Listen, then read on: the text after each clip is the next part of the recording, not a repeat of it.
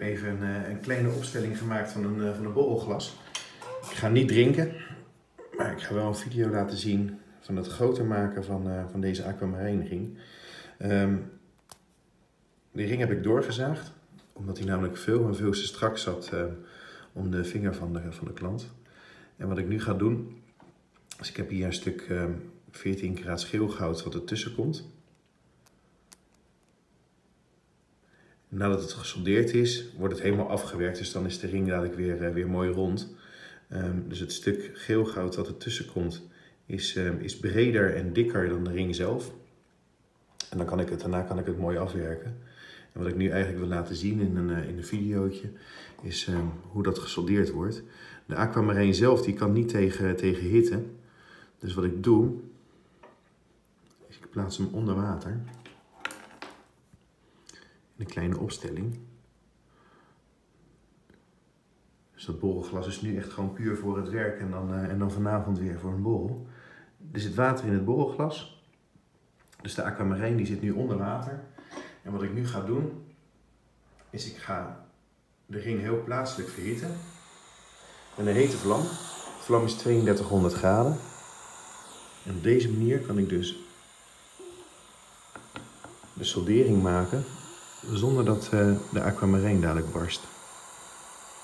Dit is borax eh, poeder, borax vloeimiddel.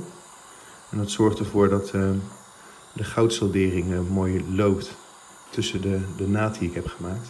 Dus tussen het nieuwe stuk goud en, en het bestaande stuk goud. En daar heb je altijd boraxpoeder voor nodig. Ik pak nu even een stukje goudsoldeer op.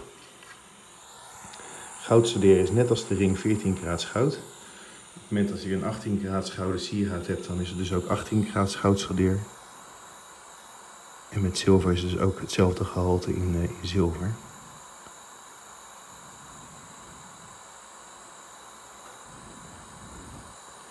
Met een gouden ring kan dit.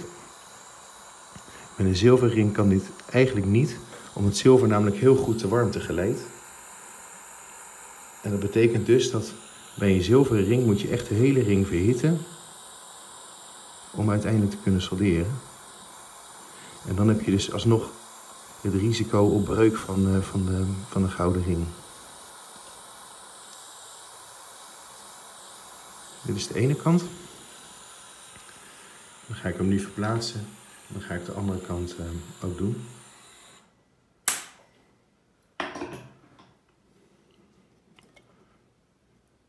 De ene kant is nu gesoldeerd.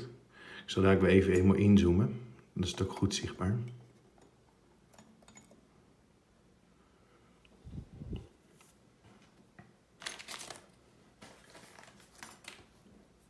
Dan ga ik nu de andere kant solderen.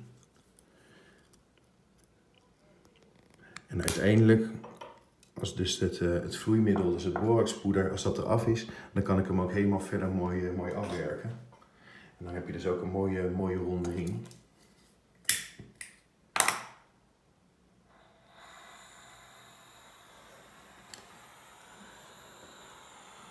Weer hetzelfde principe.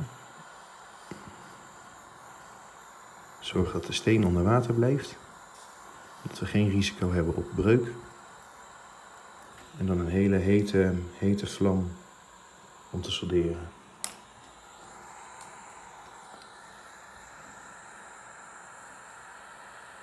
Even een stukje goudsoldeer oppakken.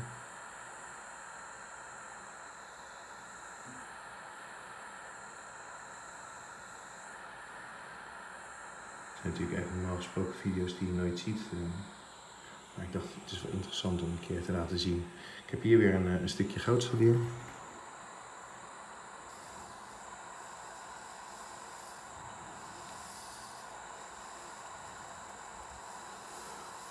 Je hoort het water dus ook koken.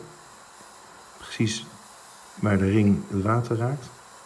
Maar dus niet bij de, bij de steen zelf.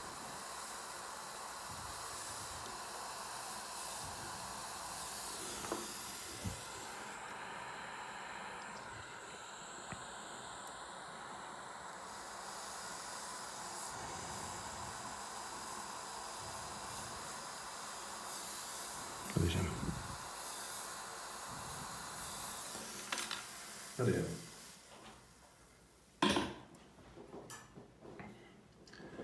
Zal ik het even laten zien?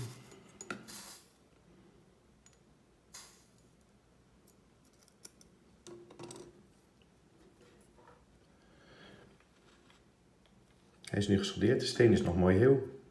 En dat was natuurlijk ook de bedoeling. En wat ik nu ga doen, is ik ga de ring in het, eh, in het trilbad of in het, eh, in het zuur leggen. Dan gaat namelijk het, uh, het gaat er dan vanaf. En dan kan ik hem dus helemaal afwerken. Dan heb je dus uiteindelijk een hele strak, strak ring weer. Deze ring is nu twee maten vergroot. Dat is echt wel een beetje het maximale wat je kan doen. Omdat namelijk anders wordt de ring ovaal als je hem, als je hem klaar hebt. Maar ehm, deze gaat dus nu in het zuurbad en dan kan ik hem afwerken. Nou, de ring is in het zuurbad geweest. Ik ben hem nu aan het afwerken. Zoals je kunt zien begint de vorm van de, van de ring er al een beetje in te komen. Dus ik heb hem net, uh, net gesmeed, rondgesmeed. Dus hij is, uh, hij is nu ook weer een, eh, een stuk ronder uh, geworden. En wat ik nu verder ga doen, is ik ga hem verder afwerken. Door middel van, van velen, schuren en dan uiteindelijk polijsten.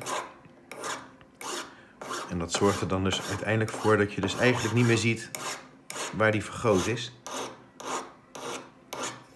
Oh, en ook nog wel belangrijk, steen is ook nog heel. Klein detail. Maar op deze manier ga ik dus de, ja, scheen, zoals het heet, eh, van de ring, ga ik dus helemaal uh, exact, uh, exact weer gelijk maken met, met de bestaande ring.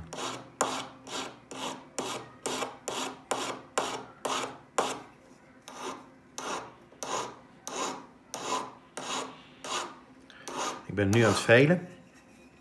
Hierna ga ik een, eh, een, een schuurlat eh, gebruiken. Uiteindelijk een hele fijne schuurlat. Voordat ik hem eh, ga polijsten.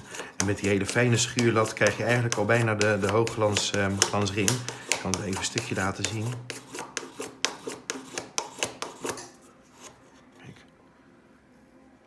Op deze manier komt hij zo al, al helemaal op. Ik ga hem verder afwerken en dan zal ik dadelijk wel even een videootje maken van als hij helemaal klaar is. Nou, dit is hem. De ring is gepolijst, klaar om terug te gaan naar de klant. En zoals u kunt zien, je ziet er niks meer van. De ring is twee maten eh, vergroot, dus dat is echt wel een beetje het maximum voor deze ring. Omdat je anders namelijk ehm, echt een ovale onderkant krijgt. Dat maakt op zich niet zoveel uit als je hem draagt. Want als je hem draagt zie je dat natuurlijk niet. Maar het, ehm, ja, het gaat er vooral om dat hij nu weer, weer helemaal goed is. De aquamarine is ook weer helemaal mooi, uh, mooi schoon.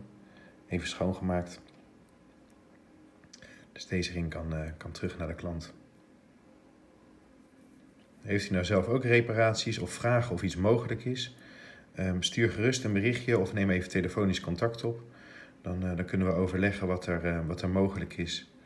En, en of het mogelijk is om een, een sieraad te repareren. Een sieraad in de kast is ook niet mooi. En zo kan hij weer mooi gedragen worden.